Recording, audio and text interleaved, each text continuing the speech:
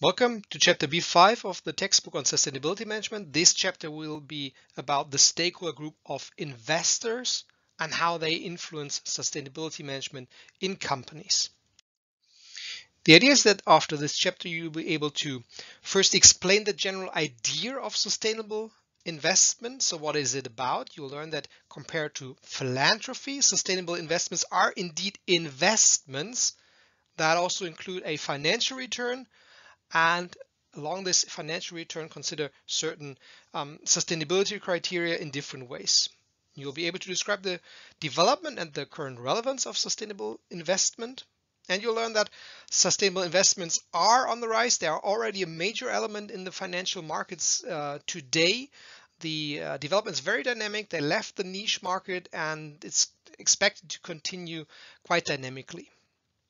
You'll be able to explain the differences between different approaches of sustainable investment, basically active and passive approaches and different subforms.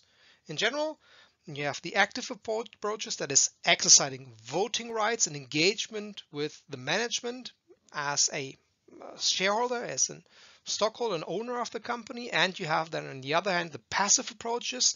These can be negative or positive criteria um, that you use to find your um, investment object basically.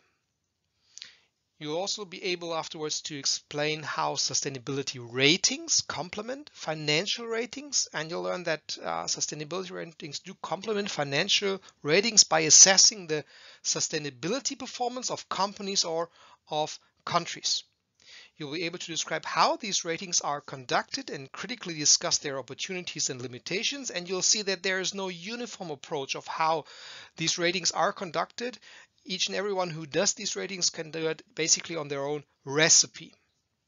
And finally, you'll be able to critically discuss how different forms of sustainable investment might have an impact really on sustainable development, on the sustainability performance of, for example, companies, but you can also have other investment objects. And you learn then in this regard that the impact of sustainable uh, investments on sustainable development is very ambiguous and contingent on the different approaches and there might be different ways how impact can materialize or also cannot materialize. Well, again, I have different features, quite a few here in this chapter. In the first chapter on sustainability in society, we'll look at the United Nations Principles for Responsible Investment, the high-level initiative in sustainability, in sustainable finance. We have a second feature then on sustainability in society about the sustainability ratings, in this case, actually of countries. So it's not only companies that can be rated, but also countries or other objects.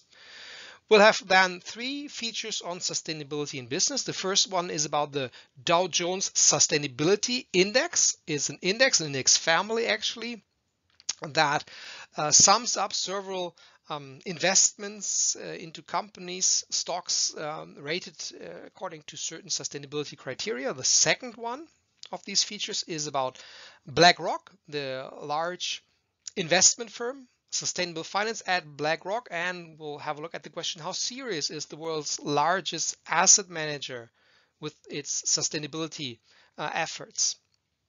And the final one will be then about sustainability crowd investments. So some, something that is really for you and me as the small scale investors, a very interesting new approach that also um, rose quite a bit with the new technology, um, the internet and stuff like that, apps that are really into these areas here of crowd investment and try to facilitate these specific types of investments.